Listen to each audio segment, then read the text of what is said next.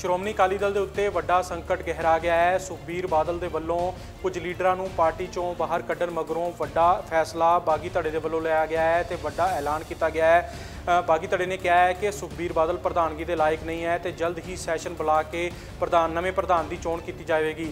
ਬਾਗੀ ਧੜੇ ਨੇ ਇਹ ਵੀ ਐਲਾਨ ਕੀਤਾ ਹੈ ਕਿ 8 ਲੀਡਰਾਂ ਨੂੰ ਜਿਨ੍ਹਾਂ ਨੂੰ ਪਾਰਟੀ ਚੋਂ ਬਾਹਰ ਕੱਢਿਆ ਗਿਆ ਹੈ, ਅਨੁਸ਼ਾਸਨ ਕਮੇਟੀ ਵੱਲੋਂ ਜੋ ਫੈਸਲਾ ਆਇਆ ਹੈ, ਉਹ ਫੈਸਲਾ ਰੱਦ ਕੀਤਾ ਜਾਂਦਾ ਹੈ। ਜਿਹੜਾ ਰੋਸ ਸੀਗਾ ਇਨੀ ਚਰਚਾ ਸੀ।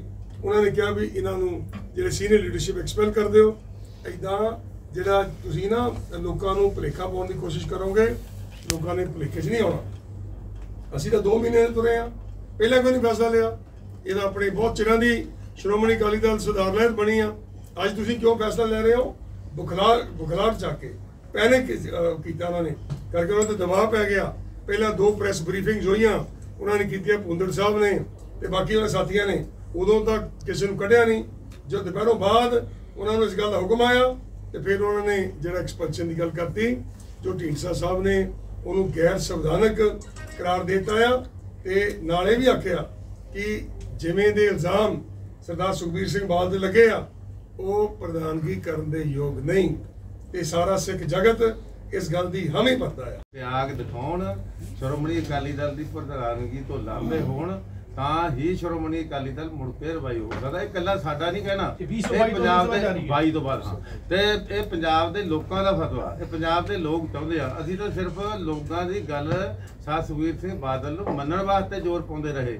ਵੀ ਜੇ ਪਾਰਟੀ ਤਗੜੀ ਹੋਣੀ ਆ ਮੁੜ ਕੇ ਰਵਾਈਵ ਹੋਣੀ ਆ ਤਾਂ ਤੁਸੀਂ ਲੋਕਾਂ ਦੀ ਗੱਲ ਮੰਨ ਲਓ। ਲੋਕਾਂ ਦੇ ਫਤਵੇ ਅੱਗੇ ਅੜੀ ਨਾ ਕਰੋ। ਲੋਕਾਂ ਦੇ ਫਤਵੇ ਦੇ ਅੱਗੇ ਜਿੱਦ ਨਾ ਕਰੋ। ਬਾਕੀ ਤੁਹਾਡੀ ਗੱਲ ਠੀਕ ਹੈ, ਜਿੱਦ ਕਰ ਰਹੇ ਨੇ।